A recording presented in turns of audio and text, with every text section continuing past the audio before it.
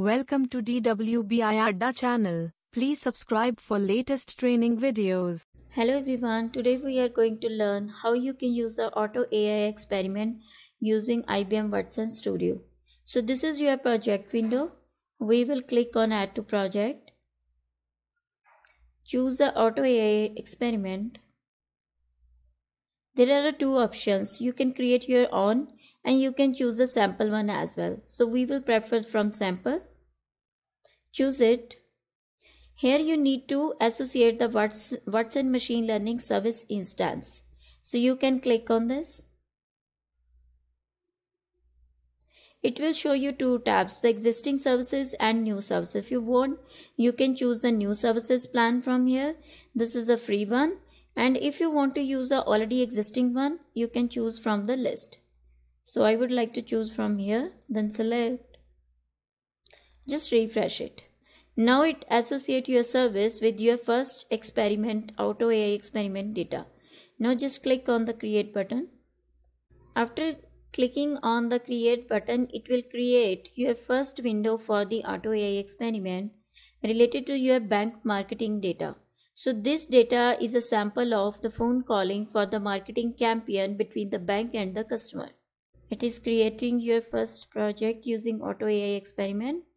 Here you can see the summary. Like the bank marketing sample and here you can drop the your dataset file if you want. Like we are using the existing sample so your data file is already uploaded there. So it grab your prediction column as well. This is your binary classification. This means uh, which type of algorithm you are going to apply. And this is your positive class. This means this is a yes and optimized metric is uh, to measure the evaluation of the model using the ROC and AUC. So this is work based on your precision recall. So we will run the experiment. After clicking on the run experiment, it will start creating your uh, first the analysis of the data set. It will start reading your data set using Auto AI experiment. So here you can see it's started it's reading your all data. This is your swap window. If you will click on this you can see the whole pipeline. It's reading the data set your split holdout then it's uh, dividing it into the two parts and then training set pre-processing model selection and selected the algorithm. After that it is uh, using the hyper parameters for the optimization and it is also performing the feature engineering. If you look at this part we will make it a smaller again. Swap the view. So this will show you the everything. Right now it's a working and the below you will be able to see the pipeline leaderboard right? Now when uh, it will take time so once it's completed it will look like this way this one. Now it's still in a process uh, here it is showing your relationship map prediction column. This is your training data set 90% three folds and then 10% holdout data. Holdout data means your new data because it divided your data set into two parts legend one is your training data another is your holdout for your testing so this is showing your top your top algorithms and this is showing your ROC AUC it is selecting your hyper parameters for the model evaluation and this is your feature transformation. And this is a pipeline. It will be updated as soon as it start working. So right now it is showing the feature engineering part. It is using lgbm classify method algorithm started feature engineering for pipeline p7 right? So it will show you the time uh, as well. And if we go here like the pipeline comparison you can see the pipeline comparison here suppose your model name is p1 then how much accuracy is there? How it is connected is? If i hover on this like this way see? It is showing everything. Like this one. This is a model name. How much accuracy it is this?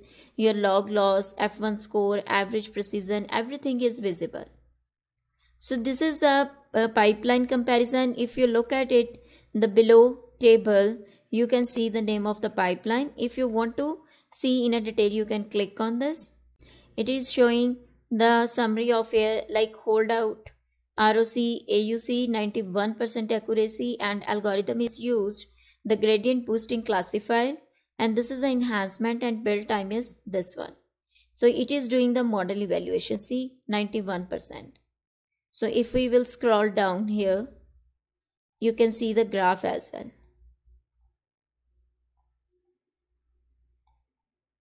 right? And this is your confusion matrix. Confusion matrix in uh, we use it is for the classific uh, for the model evaluation in case of your classification algorithm how your model is working correctly. So if you say it diagonally your positive cases in case of like this one correct percentage of this one is your 97.5% and 28.8% of your yes one so your total percentage of correct one is this and wrong one or is this. This is your total percentage. So this will say with the colors the 37 records are your less correct and more correct uh, result is with this color. So this is your confusion matrix table and if you want to see your precision recall curve you can see like this way. It is coming on the top one right so this means this is your correct answers list. Your model is working correctly. How much the percentage of this one? Like this way. Right? It's just showing every value your recall and precision value. So now if you want to get the more information about your model this is your target variable is y. Model type is gradient boosting and number of features are 31 this is giving you the detail of your given data set and now this is a feature transformation information this is new features and also saying the transformation. Transformation means to which using it get the transform the data before fitting into the model. So after that this is your feature importance. How important the feature is. Like your new feature is 18% important and this is your 15. This is your month's outcome. Everything is there. This way you can use your auto AI experiment using IBM Watson Studio you do not need to worry about anything. You only need to pass your dataset file.